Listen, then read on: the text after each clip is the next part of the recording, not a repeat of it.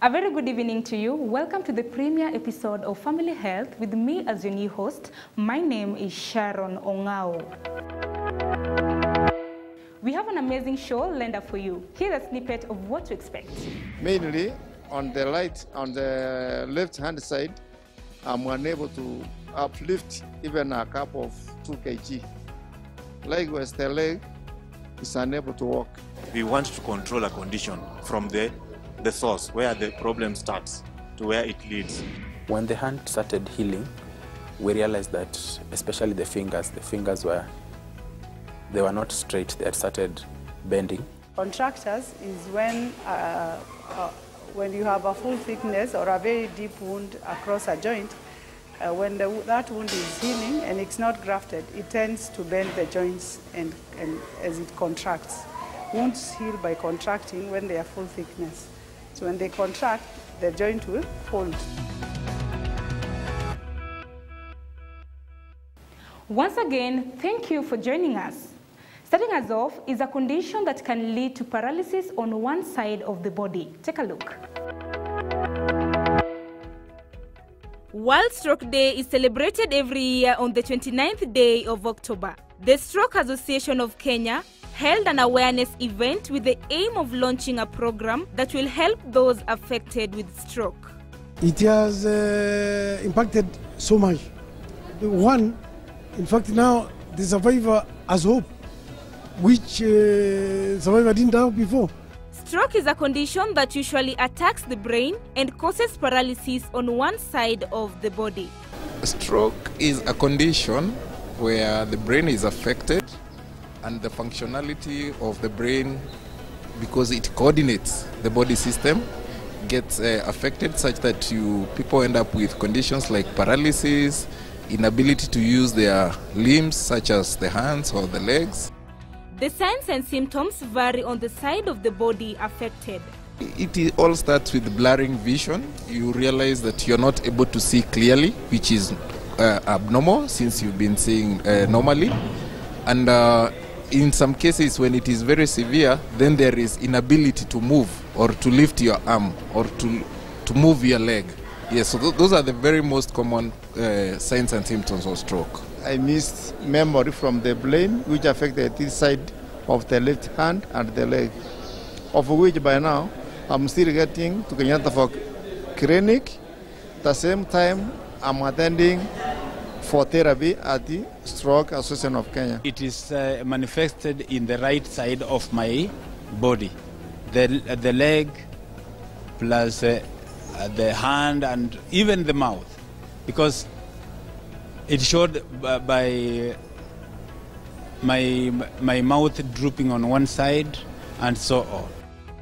There are different types of stroke, and for each condition, the blood vessels are affected. We have what we call the ischemic uh, heart stroke, and uh, we have the cerebral vascular stroke, where the blood vessels actually that are feeding the brain bursts due to a clot that has been traveling in, in the body, and thereby affecting parts of the brain and the nervous system, so that it impairs, you know, proper judgment and movement, coordination and movement of the body. There are several tests conducted to diagnose stroke depending on where it affects. I just fell down, of course, collapsed. I couldn't talk, I couldn't walk. But uh, after some time, I got energy once again. I started walking. So when I went to uh, when I went to to hospital in Nairobi here, and uh, they took time. I, I was there from Satano up to uh, saa mbili usiku. Is when I was caught up seriously. And when they found me like that is when they said that I must I might be suffering from stroke.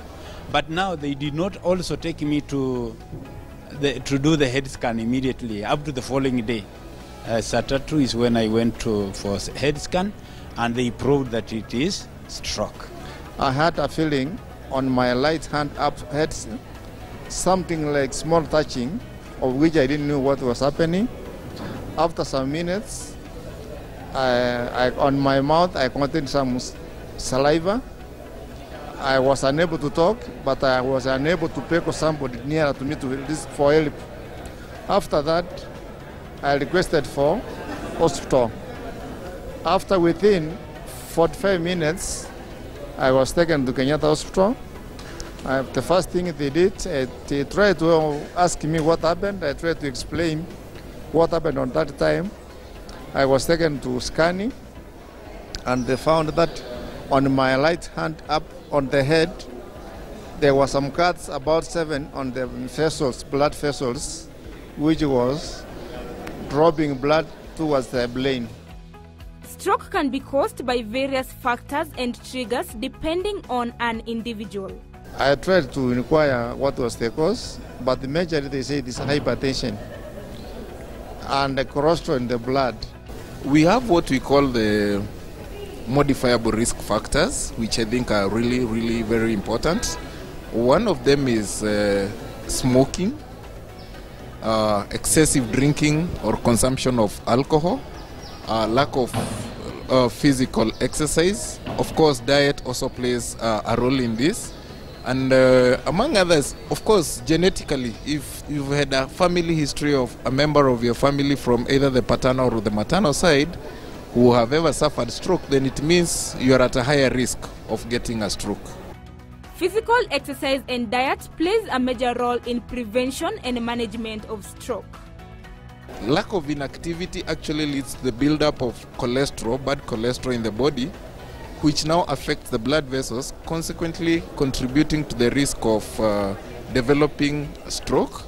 Uh, diet is very important. Of course, we need to avoid the uh, high cholesterol types of foods so that we don't burden our blood vessels with the process of you know trying to get rid of this because exactly what happens is that uh, high cholesterol levels leads to uh, you know narrowing of the blood vessels What I've tried to, uh, to take care of is to eat uh, a lot of vegetables, a lot of fruits, less of uh, red meat.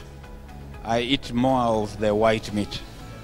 drinking plenty of fluids good fluids for that matter we don't advocate for you know sodas and juices we would uh, we uh, personally as a medical practitioner would advocate for drinking plenty of uji good clean water vegetables are very important especially the green vegetables as well as fruits. They are also bad foods. In in a general term we call them junk foods. These ones are not good because they contain highly uh, high levels of uh, fat, which is not good for the body, and they also contain highly refined sugar. Early screenings and tests for stroke can save lives, hence the importance of frequent medical checkups. We normally do different types of screenings. For example, the blood sugars, that's the BS. We do that. We do the BP, that's the blood sugar, uh, the blood pressure. And we also have the body mass index, just to monitor the weight, because out of all these three is where complication starts. I would like to emphasize that everybody outside there go for this test because we don't want to treat a condition. We want to control a condition from the the source where the problem starts to where it leads. So it doesn't come that you come for treatment. Instead, you come, we help you on how you can manage your condition, either through lifestyle, either through uh, nutrition, and any other source that is applicable. The youths too are at a risk of getting stroke and other non-communicable diseases. Health is very, it's a boring subject to discuss with the youth. And more than that, non-communicable diseases, youths don't know about it. So we need to come out very strongly to start talking about non-communicable diseases among the youth because they start affecting us from youth, then they go to the old age. Because five years from now, NCDs is going to be a big problem. And if we can't be able to work on it now when it's still developing, then in future we're going to have a very huge problem in terms of non-communicable diseases. There are health complications among other challenges that may arise due to stroke. It affected me psychologically and socially uh, because I couldn't do anything. Everything was just done for me. And in fact, that's why I really uh, appreciate my wife because from that time, she's stuck to me. Even it, it is now going to seven years. She's stuck uh, around me. I experienced a life which I never experienced to, in my life to be. For one, I was working, hard working. Now, since then, I've lost the job. I was unable to feed the family and I was the breadwinner. So up to now, I've not resumed to, to work.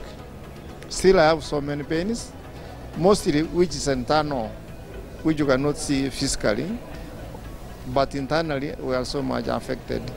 Mainly on the right, on the left-hand side, I'm unable to uplift even a cup of 2 kg. Likewise, the leg is unable to walk. Socially, people believe stroke is witchcraft.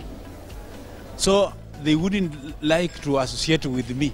Even going at home, it was difficult for people to come and uh, see me, come to talk to me, and so on. In fact, one of the biggest challenge is that you know, Stroke Association of Kenya is um, is a patient-led organization. So, and when you have become uh, a survivor, you know the, the first thing employer does to you is to lay you off, so that now you are you are you are, you are, you are, left for death.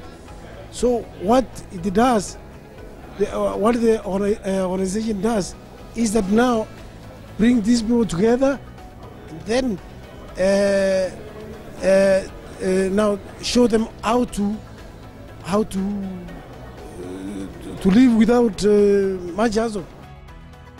Timely treatment of stroke not only improves your chances of survival, but also may reduce complications. The treatment, I can say it was good because after I was diagnosed, I was given medication which helped me to cleanse that, uh, the blood from the vessels which was affected, and it, br- gradually it improved so much so that it enables me to walk. Whereas as a country we are really advocating for universal health coverage, we do not have so many specialists, the so-called neurologists, uh, who are trained. However, treatment is available both in public, government, private, faith-based institutions. Uh, drugs are available. However, these may be limited to the cost. But yes, treatment is available, and if sought from uh, uh, qualified medical practitioners, there is chance for survival even with stroke. Making healthy lifestyle choices may help in prevention of stroke. One thing, you must uh, you must check on the foods. Food you have to eat less sugar, less of um, uh, salt. And then uh, this person should do enough exercises. This idea of uh, jumping into vehicles, matatus, and even uh, the boda bodas is not very good.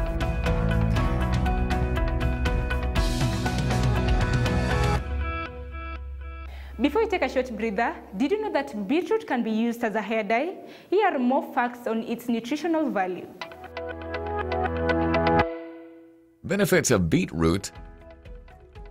Beetroot juice, made from beets, a sweet root vegetable, has numerous health benefits. Here are some of the benefits. Beetroot juice is a good source of antioxidants and can help boost blood flow through the brain, heart, and muscles. Beets have necessary nutrients and fiber.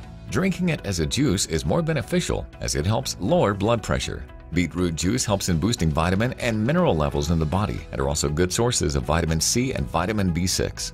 Beetroot juice is a super effective detox beverage that can help your liver dump harmful toxins from the body. Coming up next, Uh, the patient uh, is a baby who five months ago uh, sustained a burn injury.